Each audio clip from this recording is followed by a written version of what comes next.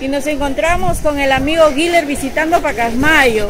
¿Cómo está, amigo Guiller? Eh, feliz, contento de la vida de estar acá en Pacasmayo una vez más, después de mucho tiempo. Hoy día en el restaurante Bar Los Jardines los esperamos para cantar el rey de la cantina, Galva, mi hijo, la loca, el divorcio.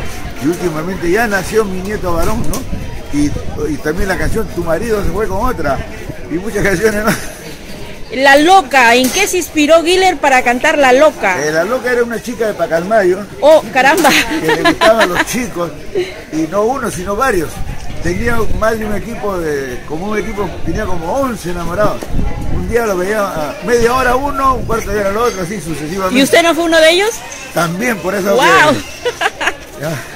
Y a mí un día, ya lo que me dijo, tú, tú eres el número 13, me dijo, imagínate, ¿no? Está bien, pues el número 3 es el cambio, la Claro, transmutación. ah, bueno, y además, como yo soy democrático, no me afectó. ¿no? ¿Y la quinceñera?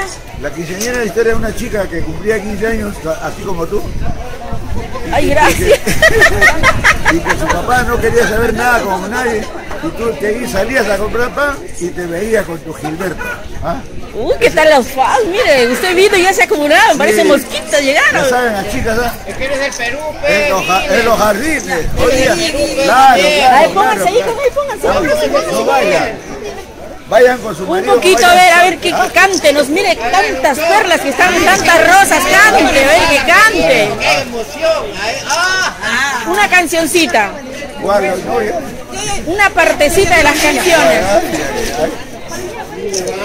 Niña bonita. Allá vamos a cantar la niña bonita.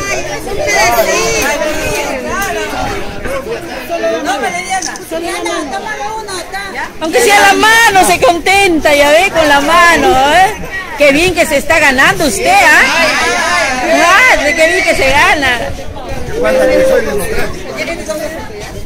Se llega, Hoy en los jardines, a partir de las 9. se llega el Día de la Madre, ¿qué decirle a las mujeres de Pacasmayo y madres?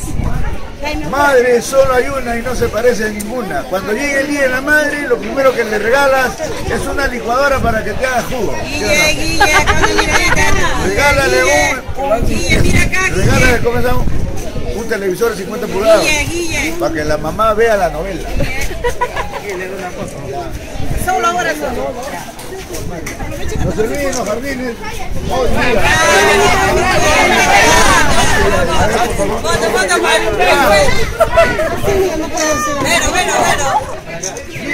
Bueno, bueno, bueno.